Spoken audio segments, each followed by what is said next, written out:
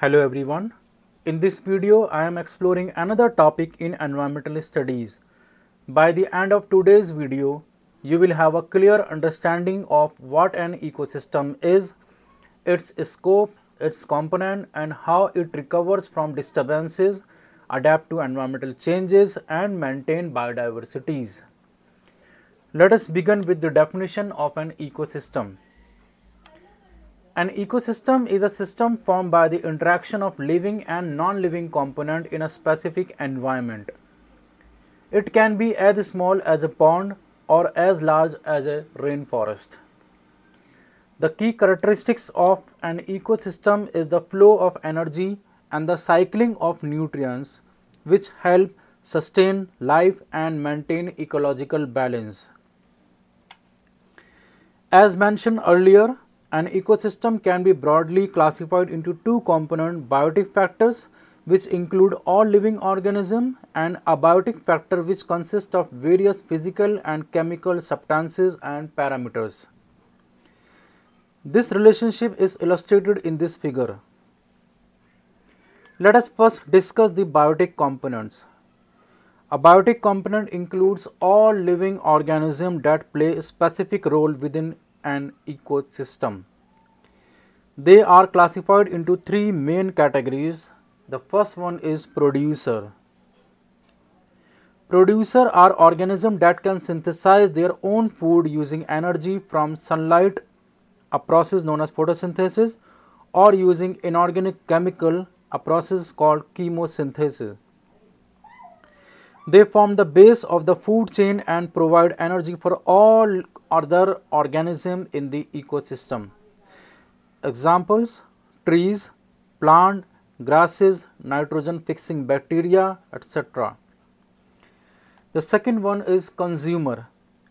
Consumer are organisms that cannot produce their own food and rely on other organisms for energy and nutrients. They are classified based on their diets and position in the food chain.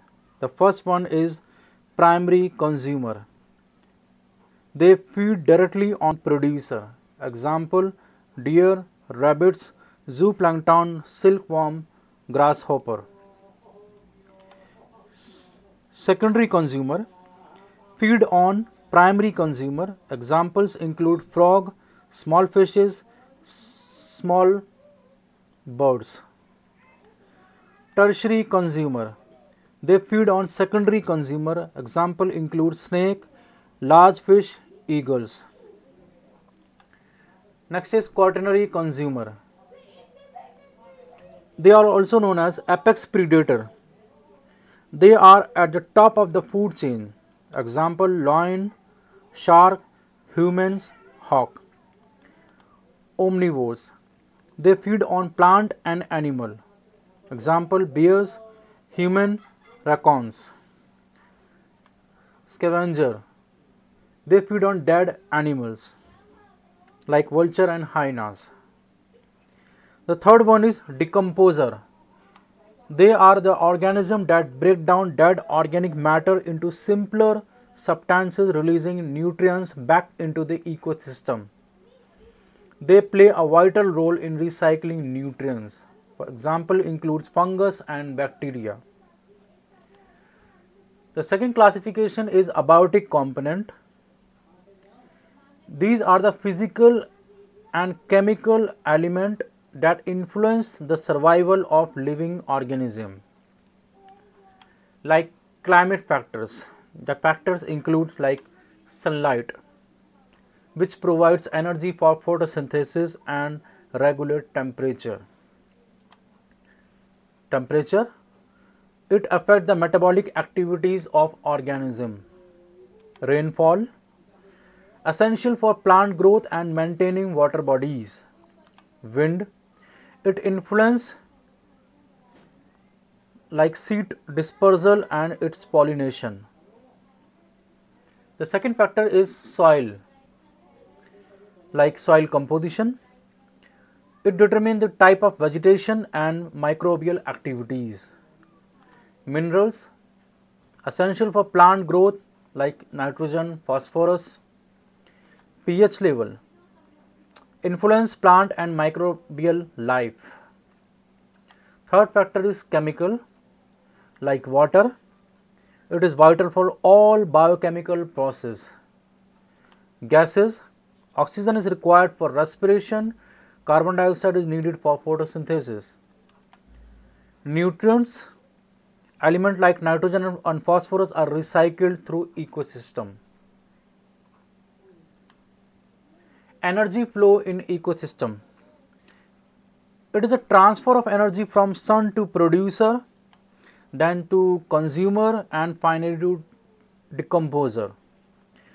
Producers such as plant and algae capture solar energy through photosynthesis, converting into chemical energy stored in a glucose. Herbivores consume producer, transferring energy to the next trophic level, while carnivores feed on herbivores. Decomposer like bacteria and fungus break down dead organism, recycling nutrients back into the ecosystem. However, energy transfer is inefficient as only 10% of the energy at one trophic level is passed to the next with the rest lost as heat through metabolic process. To understand how energy and nutrients flow through this system, ecologists use the concept food chain and food webs. Let us first discuss food chain. A food chain is a linear sequence of organisms through which energy and nutrients pass as one organism eat another's. It represents a single pathway of energy flow in an ecosystem. Example of food chain like right from the starting, let us uh, you can have a producer of like a grass, then grasshopper, then a small bird, then a snake, then eagle, then mushroom and fungus and then finally nutrients back to the producer. Next is food web. A food web is more realistic representation of energy flow in an ecosystem. It consists of multiple interconnected food chain showing how different organisms are linked through feeding relationship. For example, in a forest ecosystem, mouse is eaten by owl, snake as well as wild cat. While a snake can be eaten by a kite, while a rabbit which eat trees and plants can be eaten by jackal and jackal can be eaten by lion itself. So this is how a food web works. Importance of food chain and food web. Food chain and food webs are the fundamental concept in ecology illustrating the transfer of energy and nutrients within the ecosystem. Their importance can be understood from multiple way. The first one is energy flow in ecosystem. They represent the flow of energy from one organism to another starting from producer to consumer and then finally decomposer. Ecological balance. They helps maintain the stability of ecosystem by ensuring that species interaction regulate population sizes. If a species is removed or overpopulated, it can be disrupt the balance affecting the entire ecosystem. Third is nutrient recycling. Decomposer like fungus and bacteria play a crucial role in breaking down dead organisms, returning nutrients to the soil and making them available for producer. Number 4. Biodiversity conservation.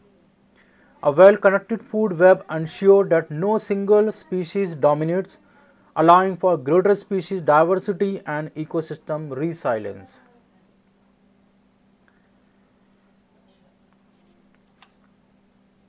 Have you ever wondered how an empty barren land can turn into a lush, lush forest over time? This transformation happens through a natural process called ecological succession. Let us explore how ecosystems evolve and rebuild themselves. It is a process by which the structure of biological community evolves over time. It involves the gradual change in the species composition of an ecosystem leading to the development of a stable and mature community. Types of ecological succession. The first one is primary succession. It occurs in area where no soil exists such as bare rock, volcanic lava or sand dunes. It begins with the colonization of pioneer species that can survive in a harsh condition. These are some number of steps. The first one is pioneer species. Lichen and mosses are typical the first organism to colonize the area. They secrete acids that break down rocks into soil. The next step is soil formation. As these pioneer species die and decompose, they contribute organic matter to the developing soil. Next step is intermediate species like grasses, herbs and small shrub begin to grow as soil becomes richer. In the last step like uh, climax community, eventually large plant and trees establish themselves leading to a stable and diverse ecosystem.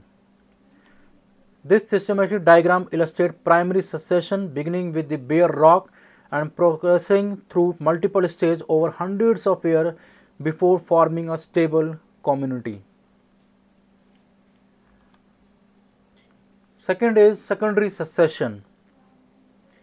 It occurs in an area where, where a disturbance such as fire, flood or human activities has destroyed an existing communities but left the soil intact. And the first step is initial colonization. The first fast growing herbaceous plant and grasses are usually the first to recolonize the area. Shrub stage. Over time, shrub and small trees begin to grow outcompeting the initial colonizer. The next step is forest development. Finally, larger trees dominate the area leading to the re-establishment of a forest or other stable ecosystem. This systematic diagram illustrates secondary succession beginning with the dead plants and progressing through multiple stages over hundreds of years before forming a stable ecosystem. Types of ecosystem. Ecosystem can be broadly classified into terrestrial and ecosystem. Let us first explore land-based ecosystem that is terrestrial ecosystem. The first one is forest ecosystem.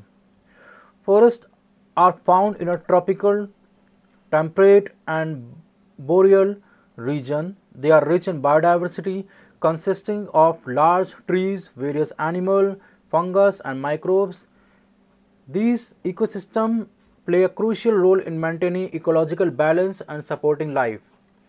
Some well examples of forest ecosystem are Amazon rainforest in South America and Siberian taiga in Russia. Next is grassland ecosystem.